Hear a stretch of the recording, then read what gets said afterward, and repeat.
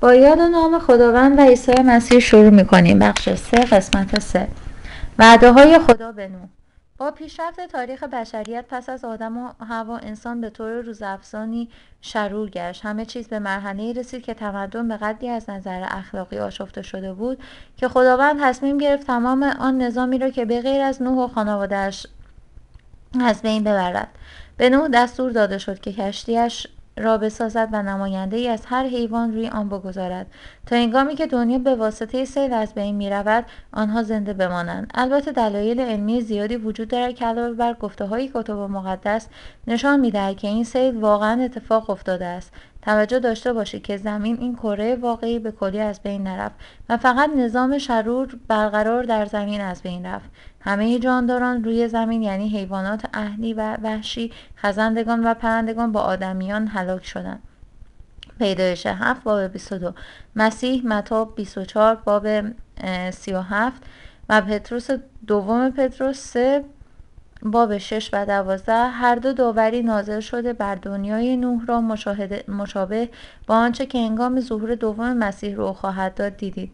بنابراین شرارت انسان در زمان نوح مطابق با دنیای کنونی ما می باشد که قرار است با بازگشت مسیح مجازات شود.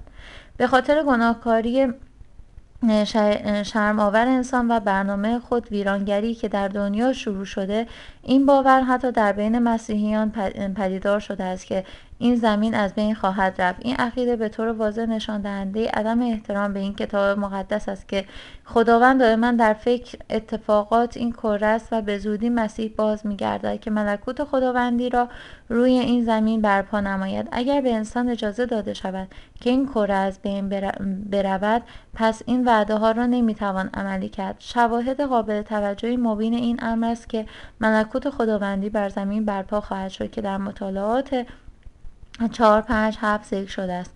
فعلا آیه های زیر سندیات کافی بر عدم تخریب زمین و منظومه شمسی را در بر دارد. از آنجا خانه مقدس خود را مانند کوههای محکم و پا بر جای دنیا جاودانه برپا نمود.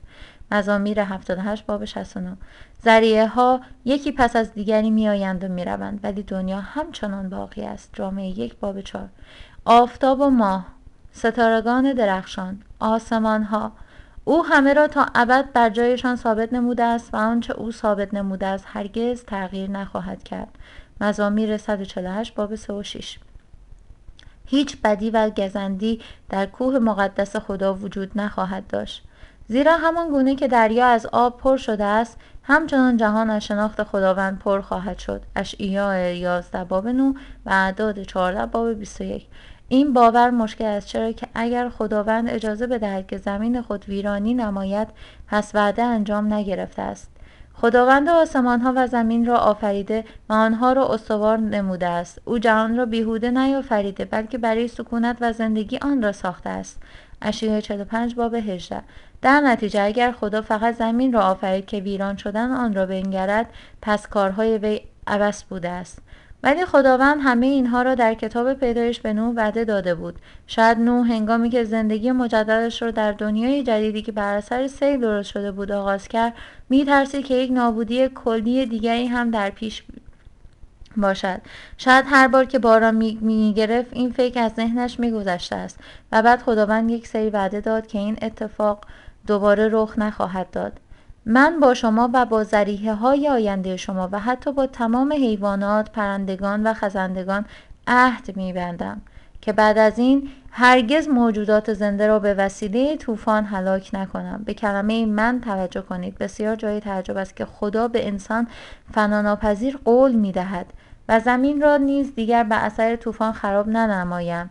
این است نشان عهد جاودانه من. پیدایش 9 باب 9 و 12 این وعده به واسطه رنگین کمان تایید شدند وقتی ابرها را بالای زمین بگسترانم و رنگین کمان دیده شود آنگاه قولی را که به شما و تمام جانداران دادم به یاد خواهم آورد و دیگر هرگز تمام موجودات زنده به وسیله طوفان هلاک نخواهند شد. آری رنگین کمان نشانه عهد من است. با تمام موجودات زنده روی زمین. پیدایش نو باب 13 و 17 از آنجایی که این وعده ها بین خداوند مردم و جانوران زمین ابدی هستند این امر را که زمین باید انسانها و حیواناتی داشته باشد که تا ابد روی آن زندگی کنند به دنبال دارد.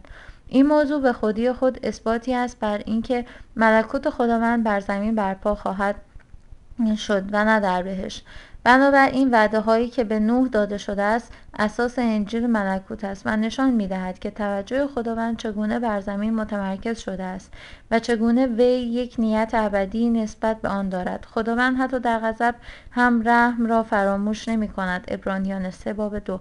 و عشق وی همچنان است که حتی برای حیوانات هم قائل می باشد اول قرنطینیان نه باب نه رجوع به یونس چهار باب یازده.